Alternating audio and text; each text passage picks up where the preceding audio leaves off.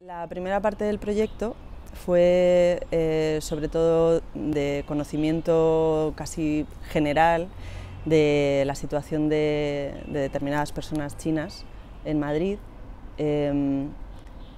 tuve un shock muy fuerte porque tuve la sensación de que eh, mi cabeza previamente estaba llena de no solo de desconocimiento sino también de prejuicios. Eh, me sorprendía mucho todo lo que me contaban. Yo recuerdo la sensación de no dar crédito con todo lo que me contaban. Em, fue cuando entramos en determinadas eh, zonas también eh, desconocidas sobre cómo llega la gente a España, por qué va la gente a España, cómo es la situación de sus familias en China, a qué problemas se tienen que enfrentar cuando llegan a Madrid. Y con ese trabajo previo em, me hice una idea, em, de alguna manera ya seleccionamos junto con la gente del equipo cuáles eran los temas que nos interesaban especialmente. Y sobre todo sirvió para establecer una primera conexión ya no solo en cuanto a los conocimientos, digamos, sino una conexión emocional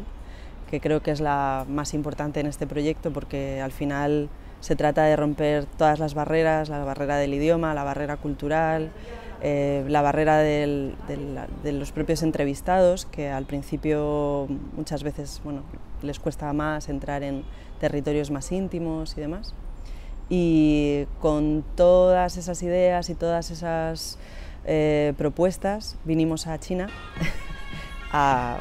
tener un shock eh, en todos los aspectos. vinimos con el objetivo de encontrarnos con eh, los familiares de, estas personas entrevistadas, de algunas de ellas, em, sobre todo con la intención de conocer cuál era el otro lado de las historias que nos habían contado.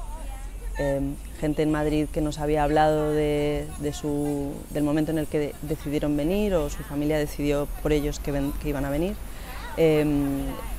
Queríamos completar esas historias con el punto de vista de la gente aquí, cómo es para estos familiares que se han quedado en China tener a sus eh, allegados fuera, cómo es la nostalgia, cómo es el echar de menos, cómo es la imaginación eh, sobre ese país, España, que para muchos de ellos es muy desconocido. Em, y con ese objetivo empezamos a encontrarnos con, con ellos, a mm, dejarnos eh, abrumar por la generosidad de esta gente que nos ha acogido casi como a familiares, como si fuésemos sus hijos, y que nos ha abierto las puertas de su casa, que nos ha permitido conocer mucho más de lo que veníamos buscando en realidad.